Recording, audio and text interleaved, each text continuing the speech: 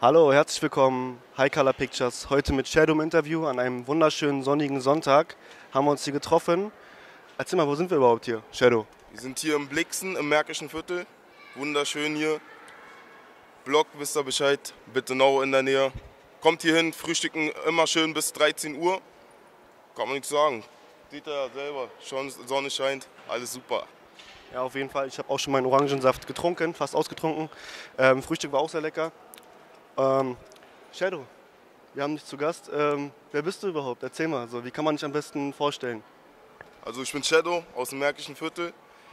Die meisten kennen dieses Viertel dank Sido, hat es ja rausgebracht, sagen wir mal so. Er hat angefangen mit Beat halt. Ja, komme aus Sierra Leone, meine Herkunft.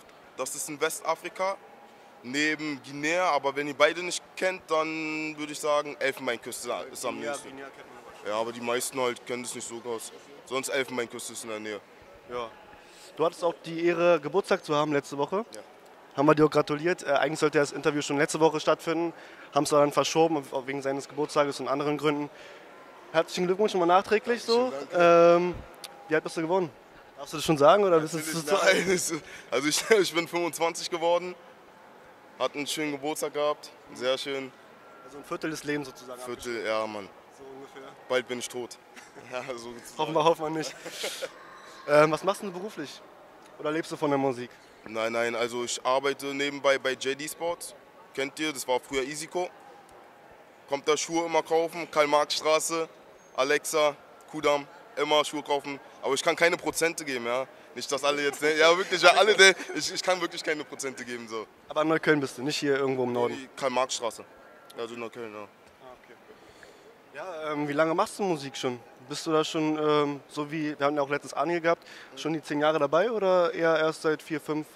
Also auch, also ich bin schon lange acht Jahre dabei, aber wo es richtig angefangen hat, so sechs Jahre, fünf Jahre so. Aber so unter acht Jahre so Texte schreiben, hat man früher mit, äh, wie nennt man, so ein Computermikrofon, weißt du, für 10 Euro aufgenommen. Ja, aber sonst.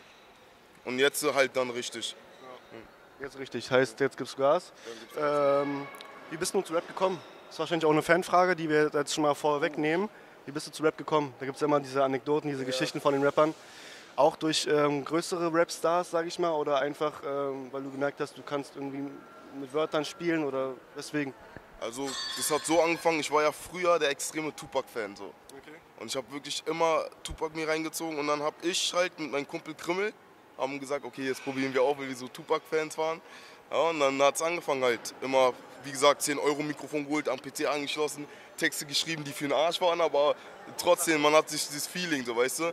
Und dann halt, wo man die ersten, sagen wir, Audiodateien hatte, dachte man sich, ja, cool, Alter. Und irgendwann wurde mir auch von anderen Leuten gesagt, dass du das, was du machst, ist richtig gut. Halt natürlich musste ich mich verbessern.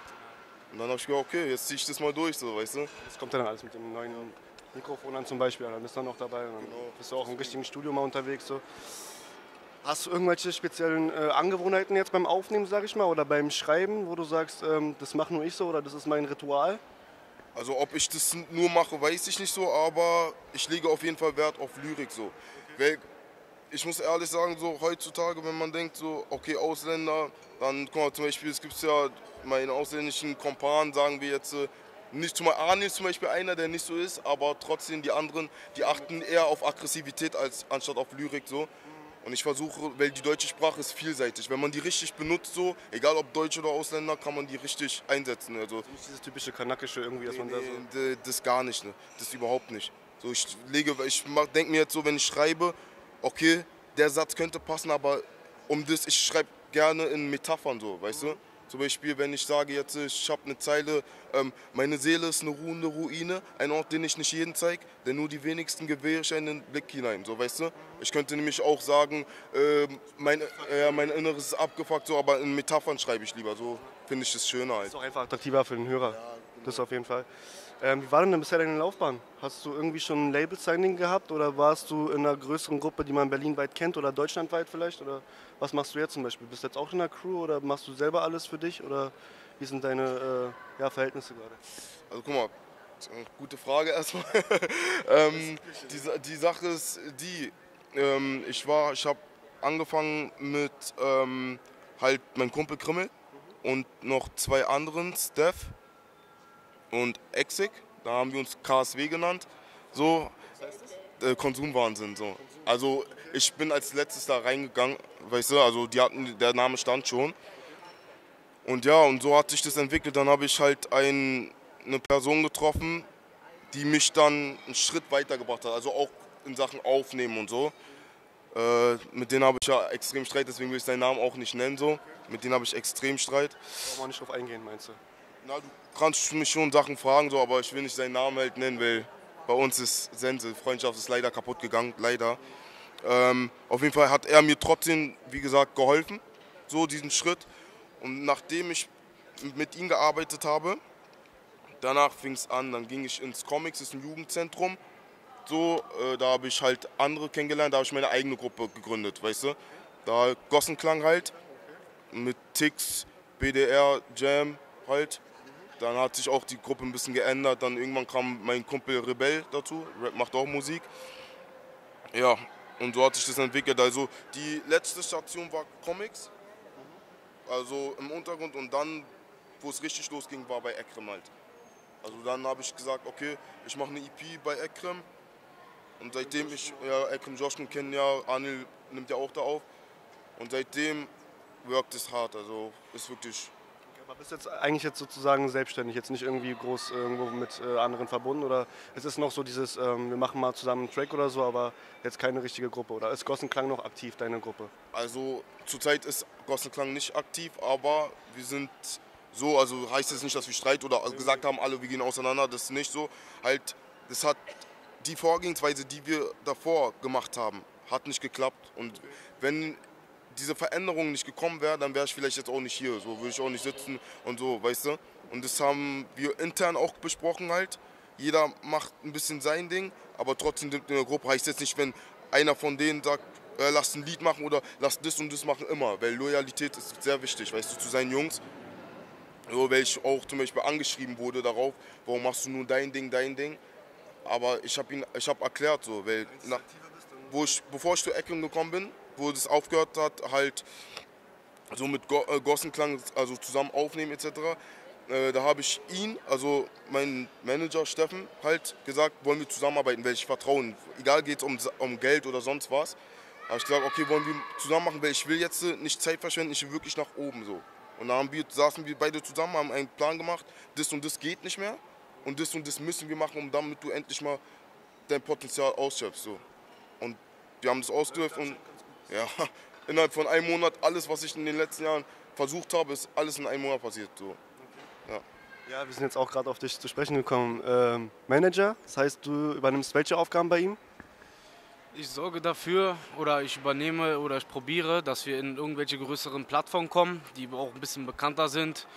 Oder treffe mich mit äh, irgendwelchen Kameramännern und äh, bequatsche Videos oder generell, dass man mal zusammenarbeitet suche Sponsoren, wie auch immer. Also bis. Der ganze Hinterkopf von, von Shadow sozusagen, um alles zu organisieren, Konzepte. Alles abzunehmen, dass er sich wirklich auf die Musik konzentrieren kann, genau, dass er schreiben kann ohne Ende und alles. Also, ja. Ja, super.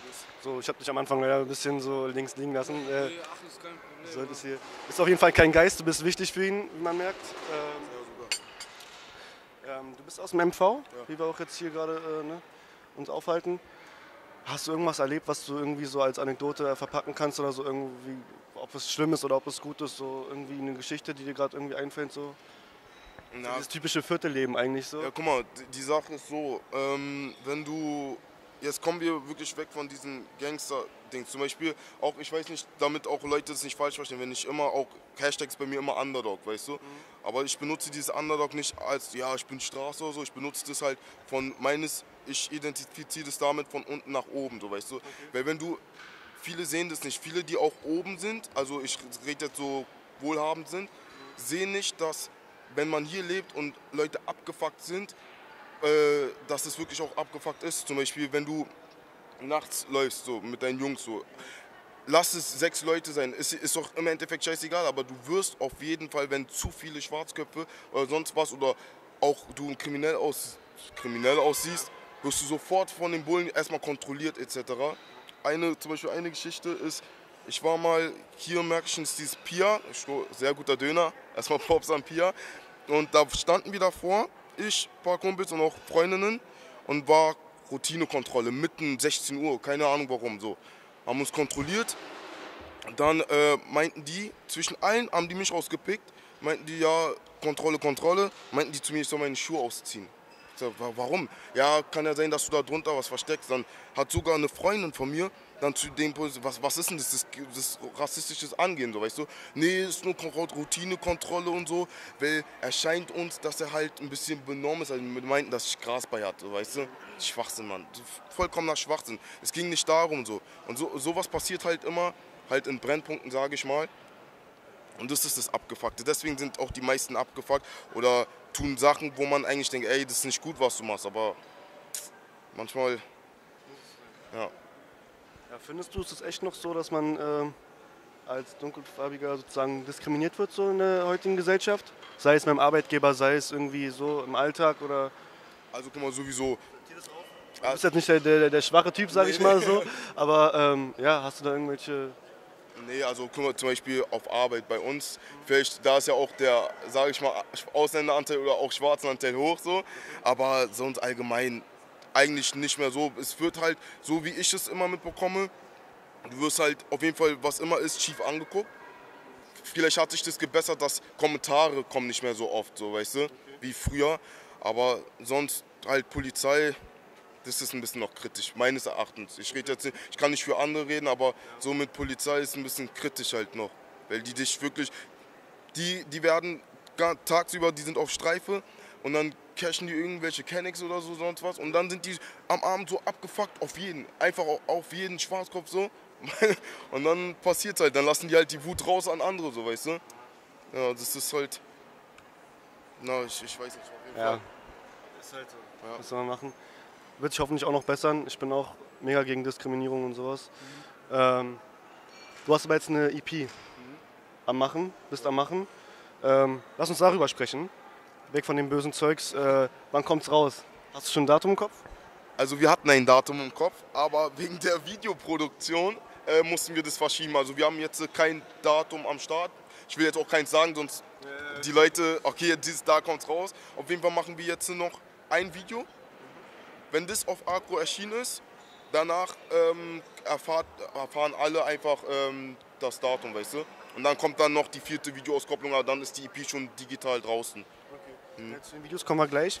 Ähm, Album komplett produziert von Ekrem Joshkun wieder und dem Alltime Music Studio oder woanders auch was mitgemacht? Ne, also produziert ähm, Ekrem. Alltime, ja genau. Äh, die Beats, wo hast du die Beats her? Free Beats oder eher auch ein Beatmaker im Hintergrund? Oder? Also wie gesagt, Beatmaker, Dexter, Drumkit, Goldfinger und MD Beats. Also alles selfmade Also ja, weil so, das ist, soll nicht eingebildet klingen, aber einfach nach einer Zeit, wenn du auch immer schreibst und so, egal ob du oben oder unten bist, denkst du dir, du willst Sachen haben, wo kein anderer Rap will. Guck, äh, guck mal, wenn ich jetzt einen krassen Track mache, so, wo alle sagen, oh, ist krass, und dann ein anderer benutzt den gleichen Beat. Das ist für mich so scheiße. So. Und wirklich, sonst mit dem Beat-Produzenten bin ich auch sehr zufrieden. So, Ekrem macht auch eine gute Arbeit. Wir haben uns von Anhieb gut verstanden. Von Anhieb. Wo ich angefangen habe, die EP aufzunehmen, Underdog, direkt gute Zusammenarbeit. Wie habt ihr euch kennengelernt? Ich habe ihn angeschrieben. angeschrieben? Ich habe ihn angeschrieben. Wann ungefähr, so zeitmäßig?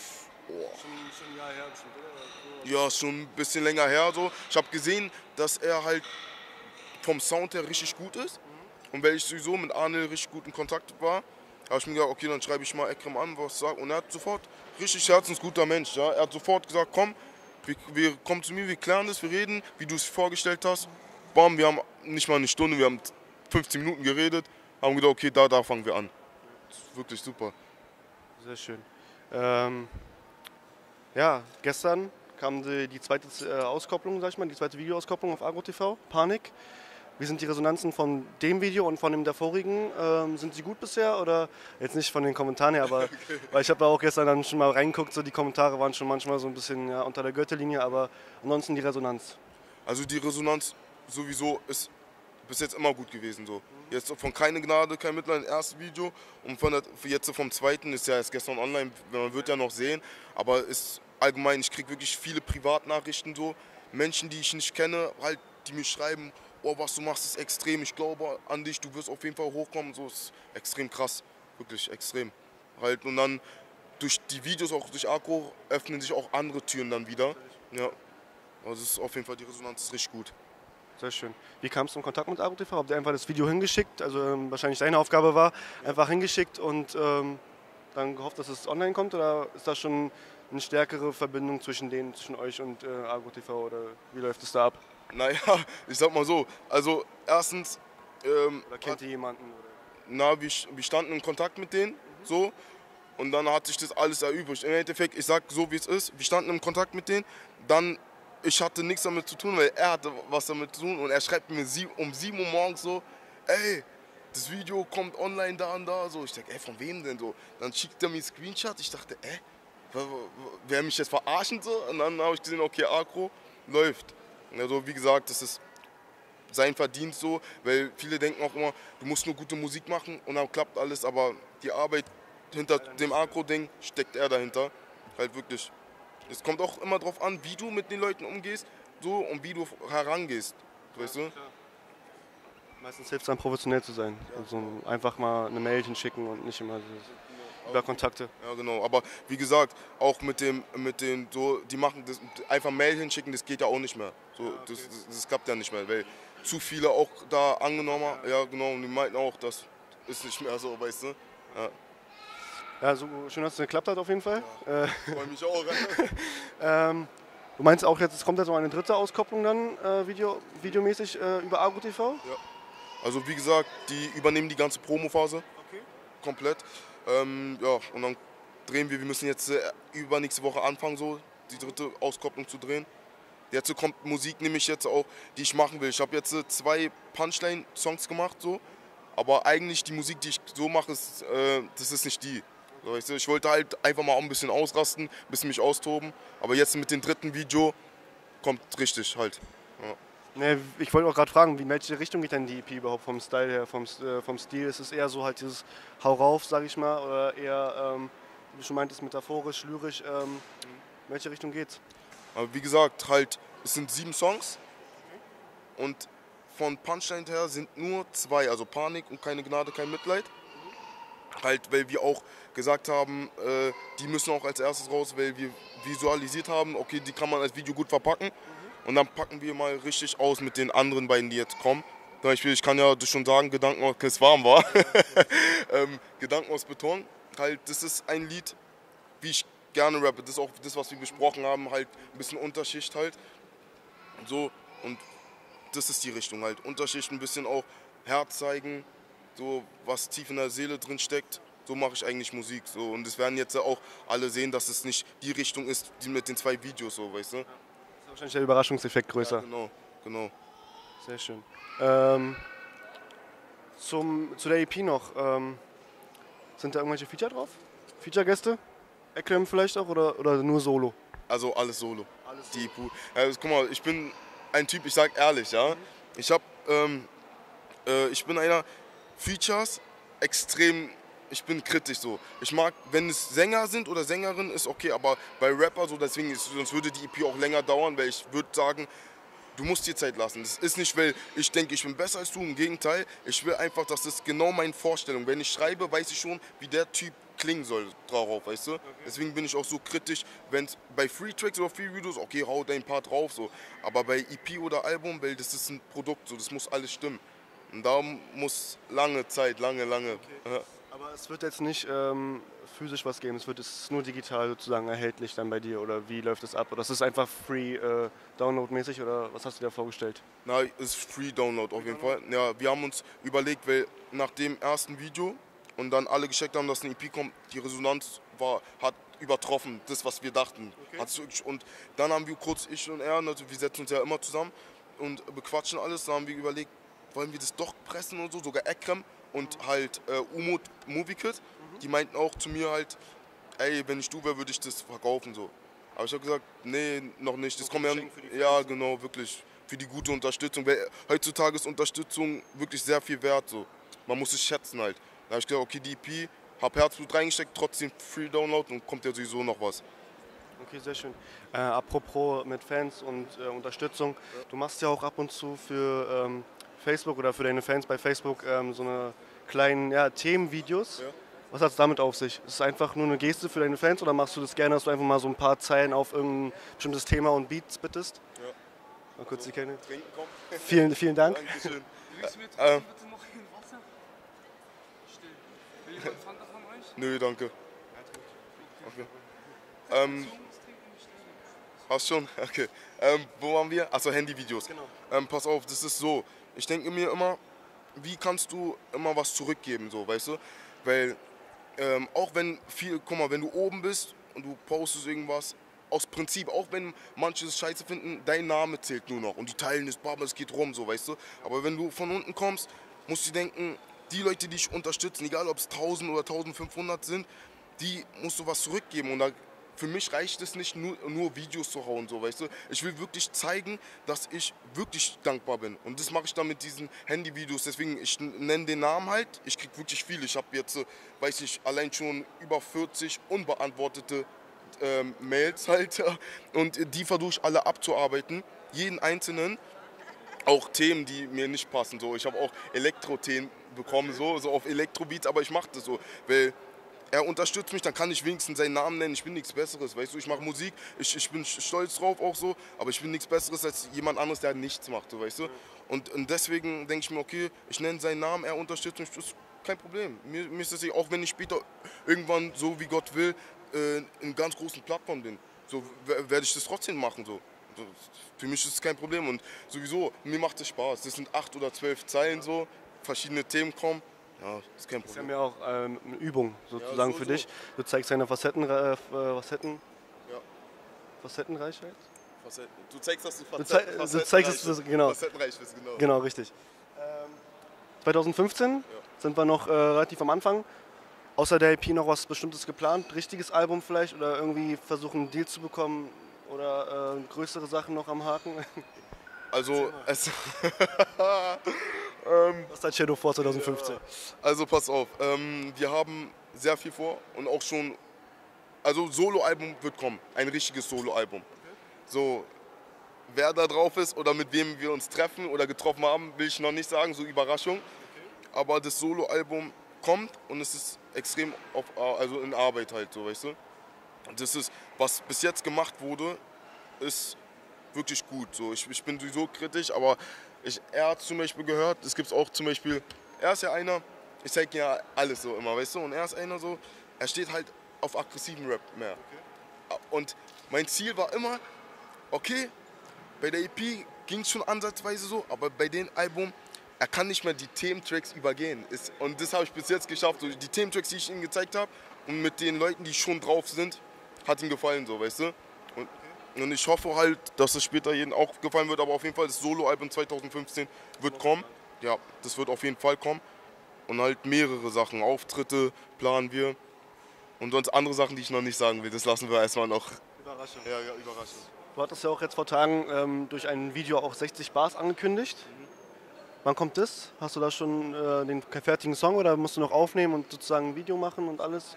Was meinst du, Release-Datum? Also so, wie gesagt, also mit den 60, mit den 60 Bars habe ich mir so gedacht, dass ich, ich, werd, ich will das auch nicht auf Agro raushauen, sondern auf unsere neue Seite, weil die neue Seite wird gerade gemacht, äh, YouTube-Seite. Und äh, da habe ich mir gesagt, okay, als Anfang, so als Intro haust du gleich 60 Spaß raus, weil ich habe auch einiges mh, hm, zu sagen, so, auch Leuten gegenüber. Und ich will erstmal meinen ganzen Frust halt rauslassen und dafür sind diese 60 Bars. Ich habe jetzt äh, angefangen zu schreiben auf MD Beats. Ich will das aufteilen zwischen die drei Beat-Produzenten, mit denen ich immer arbeite. Das sind Dexter, MD Beats und Drumkit. Und so will ich das auch aufteilen. MD Beats fängt an mit dem Beat, dann Beatwechsel und nochmal Beatwechsel, so weißt du, dass alle drei drin sind. Ja, und sonst, wie weit ich bin, ich habe jetzt 20 Bars geschrieben. Also ich hatte eigentlich schon mehr, aber habe die schon gelöscht. Also 20 Bars, die auf jeden Fall fest sind. Ja. Wird auf jeden Fall was krasses auf uns zukommen. Ja, also ich hoffe, es wird, wird euch gefallen. Und wer es drehen wird, keine Ahnung. Wie gesagt, wenn ihr Bock habt auch, Alter. High Color Pictures. High Color Pictures, Shadow. ähm, so habe ich mir noch keine Gedanken gemacht. Ich werde erstmal das komplett fertig aufnehmen. Und dann, äh, wenn es fertig abgemischt ist, dann komme ich nochmal auf euch zurück zum Beispiel. Sehr, sehr gerne. Ähm, sind wir eigentlich schon fast durch mit der EP und mit den ganzen Fragen. Haben natürlich auch noch Fragen von euch gestellt bekommen bei deiner Künstlerseite. Die würden wir gerne mit einrevolvieren. Ähm, und zwar hat uns der Julian Juju K. gefragt, was ist deine Mission? Okay, was meine Mission ist, ganz nach oben zu kommen. Okay, was steht noch an? Haben wir eigentlich jetzt schon geklärt, aber was steht noch an? Halt, also als nächstes halt Gedanken aus Beton wird rauskommen. Ja, Video halt. Wie weit bist du zu, äh, wie bist du zu Agro TV gekommen? DVO Fragezeichen? Antwort R. Erzähl mal. Was soll ich erzählen? Also, wir hatten vorhin darüber was gesprochen, er hat dazu was gesagt. Also, ich denke mal, das reicht als Antwort. Okay. äh, wann kommt dann halt die Pressevideo? Hast du was geplant? HDF? Oh, nee. Dazu kann ich was sagen. Und zwar mit halt die Fresse, es wird höchstwahrscheinlich nichts. Aber, warum? Äh, warum weiß ich auch nicht. Es äh, wurde halt äh, abgelehnt. Genau von deren Seite aus. Aber wer weiß, was in Zukunft kommt. Vielleicht hat man ja doch noch Glück. Man ist zuversichtlich. Also, aber wir sind so erstmal mit der Zusammenarbeit über Agro überhaupt erstmal zufrieden. Also mal sehen, was sich alles noch ergibt. Aber erstmal muss es dann reichen. Okay. Ähm, dann war die Frage, die wir eigentlich schon geklärt hatten, was auf, wer auf dem Album alles drauf ist. Album wird sozusagen so, also die EP wird ja, solo. Genau. Album wirst du dann wahrscheinlich noch bekannt geben, späteren Zeitpunkt, ja, jetzt noch ja, nicht. auf jeden Fall Features drauf sein. Okay. Und was machen die anderen von GSK, also von Gossenklang, denke ich mal? Also der aktivste von denen ist. Oh, das ist schwer. Ja, aber wenn schon, dann Jam. Der, der, äh, Jam. Der war auch bei Anil drauf, ne? bei AKB. Ja, beim Ausländerpolitik war, war er drauf. Und sonst die anderen, wie gesagt, mein ähm, Kumpel Benny, also Rebell, der hat auch Kind bekommen. So, das ist ja wichtig. Nicht er, aber seine Frau bestimmt. du hast Kind bekommen, Benny. Nee, nee, also seine Frau hat Kind bekommen halt. Mhm. Sonst ähm, dann Tix, der macht gar nichts mehr. Halt, der hat eine Arbeitskarriere, sagen wir mal so. Bei ihm läuft richtig mit Arbeit. Er ist auch umgezogen, größere Wohnung, ja, du Bonze. ähm, sonst ist ja noch, ähm, wer ist noch da? BDR ist leider nicht mehr bei uns in der Gruppe, äh, wegen früherer Vorfälle. Und ja, Ronick chillt immer. Also Ronick ist einer, er macht, wenn er Bock hat, kommt er mal ins Studio, wenn nicht, dann nicht so. Okay. dann fragt Martin187, ähm, wer sind deine Lieblingsrapper? Das wäre auch eine Frage von uns gewesen, haben wir jetzt nicht vorweggegriffen. Lieblingsrapper, Deutschrap, ja. Ami, also hast du ja schon gesagt, Tupac. Ja. Noch im Deutschrap irgendwie jemand? Deutschrap, ganz klar Manuel Elzen. Okay. Also das ist auch mein Ziel, dass ich mal mit ihm Musik mache. Manuel Elzen, sonst ich feiere eigentlich viele. Casey Rebel, PA Sports. Mm. Das ist eigentlich die Pod-Szene sozusagen, so Ruhrpott-mäßig so in ja, dem Bereich. So Sind ja alle Potter. Bushido halt, aber Bushido nicht wegen seiner Technik, aber man muss schon sagen, er, die Atmosphäre, die er erschafft mit den Tracks. Und sonst, einen, den man vielleicht nicht so kennt, ist Disaster. Der kommt aus Hamburg. Feier ich auch mal. Kennst du, ja? Alter, der, der, das ist genau die Musik, die ich meine, die ich auch machen will. Zum Beispiel Lyrik ist bei ihm extrem krass. Ja, also Disaster aus Hamburg müsst ihr euch mal alle geben, der ist extrem. Der wird auch seinen Weg gehen, auf jeden Fall. Braucht man keine Fragen stellen. So. Sehr schön. Ähm, welche Rapper feierst du gerade? Haben wir auch gerade äh, erledigt. Dann fragt Valeria Silvetti, ja. wie viele Jahre machst du schon Musik? Haben wir auch schon geklärt. Acht Jahre Acht circa. Jahre.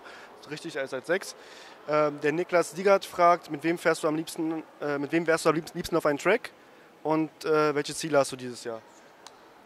Also auf dem Track Manuelsen, ganz klar. Also Manuelsen, wenn du es hörst, weißt du Bescheid.